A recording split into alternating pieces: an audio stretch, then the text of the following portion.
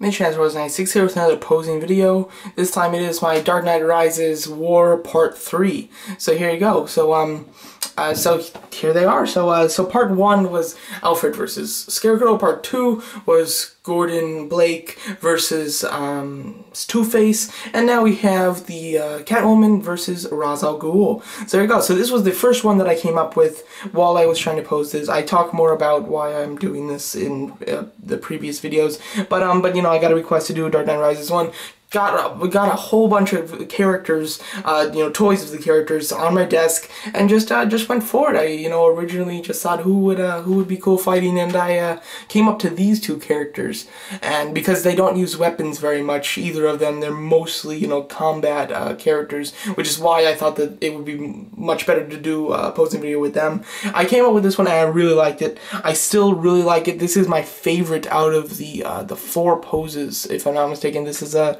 this is just cool. It's just two combat characters. As you can see there, you've got Catwoman, um, one leg on the ground, one leg just way up trying to kick him, but Ra's al Ghul's blocking it. He's getting ready to attack. I just, I thought this was a really cool just uh, pose, you know, I think that they look really nice, and I'll do some handheld with it. And what might really surprise you, well, I'll show you that at the end, but first of all, let's just do some, uh, some handheld. But as you can see, here's Catwoman. There's a nice view, that's super cool really nice. She has a lot of articulation. Well, it's not a whole lot. It's a standard articulation, but it's not hindered, which is really nice. Then here you got Ra's al Ghul. Very cool. Nice figure. Pretty standard, though. Not uh, Nothing too special. But yeah, so very cool. But what may surprise you, which I think is super cool, is...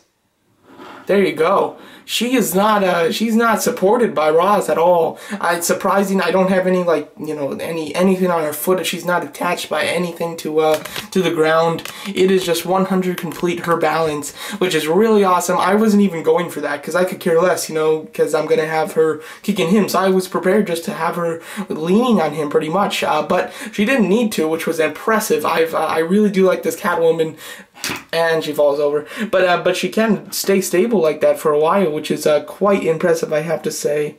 Just, getting her heel on the uh, the ground, and then there you go, she's good. So there, you, oops.